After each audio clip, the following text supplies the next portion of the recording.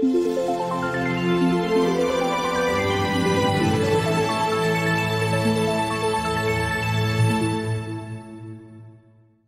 隆布鲁克斯的名字，大概很多人都听说过，尤其是对于火箭球迷而言。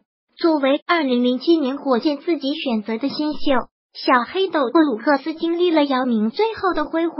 他曾经跟着火箭一起打进季后赛次轮。到了二零零八到零九赛季，火箭将阿尔斯通交易走之后，布鲁克斯成功当上了火箭首发控卫。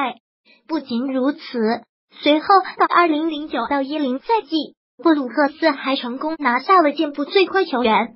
说来。虽然进步最快球员一直有着魔咒，但是能够拿下这个奖项的绝大部分球员，还是能够在接下来的几年里保持状态，甚至成长为巨星的。比如最近几年的字母哥 CJ 麦克勒姆、巴特勒、保罗乔治等人，即使是曾经的格兰杰特克格鲁，也都有过短暂的辉煌。然而布鲁克斯却没有，他可以说是近年来进步。最快球员中陨落最迅速的一个，甚至比莱恩·艾德森还要夸张。回到二零零九到一零赛季，火箭相比上赛季发生巨变，埃泰斯特已经不在，阿里扎到来，麦迪中期离开，姚明则因为伤病缺席了一整个赛季。加之球队内新人较多，布鲁克斯因此得到了大量的机会。他在这个赛季场均可以拿下十九点六分、二点六篮板、五点三助攻，三分命中率达到百分之三十九点八。相比上赛季的场均十一点二分、三点零助攻，布鲁克斯进步巨大。他也毫无悬念拿下了进步最快球员，这是火箭十多年来的第一个进步最快球员。可以说，当时的火箭球迷对布鲁克斯充满了期待。有些球迷甚至觉得布鲁克斯可能会在下赛季成长为全明星级别。然而，谁也没想到，这一年最终成为了布鲁克斯唯一的巅峰。在他三年级就拿下进步最快球员之后，布鲁克斯未来的生涯再也没有重新起势。他在二零一零到一一赛季被送到了太阳，随后因为联盟停摆，小布一度来到 CBA 淘金。重返 NBA 之后依然表现平平，期间还短暂回归了火箭，但是实在难说优秀。尽管至今一直在联盟中打球，但是他的定位已经逐渐变成了球队边缘角色。上赛季在森林狼，三十岁的布鲁克斯场均只能得到五分钟的上场时间，拿到二点三分。那么为什么布鲁克斯没有成功打出来呢？说来最大的原因还是天赋。作为一个真实身高只有一米八十的小个后卫，布鲁克斯在同类之上唯一具备的优势便是速度。他的百米冲刺速度几乎可以说是同时期联盟最快，因此在突破和快攻时拥有了极大的优势。但是撇开速度之外，布鲁克斯在同位置上其他每一项却都是劣势。他的身高、臂展都不出色。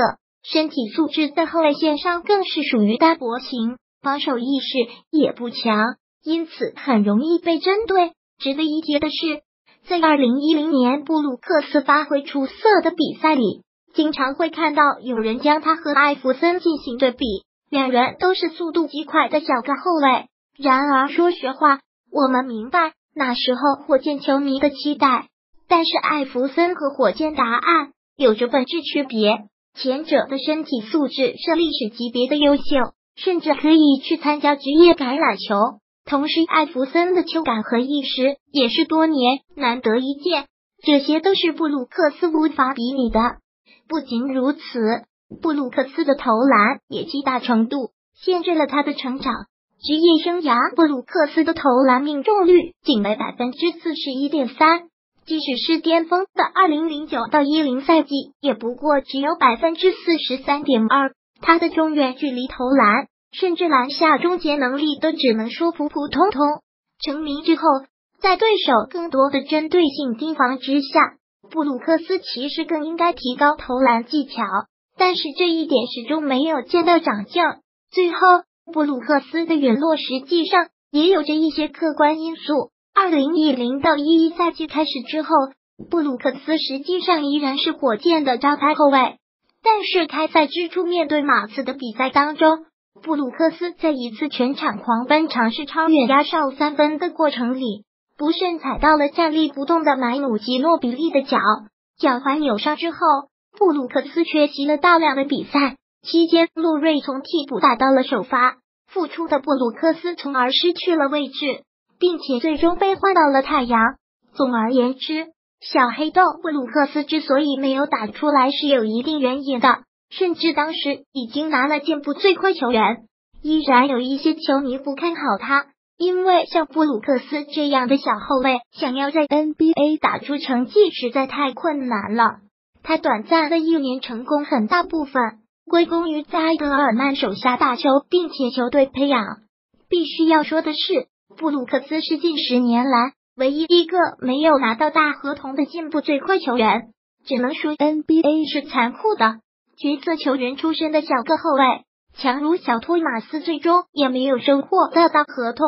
说到底，天赋还是最为重要的。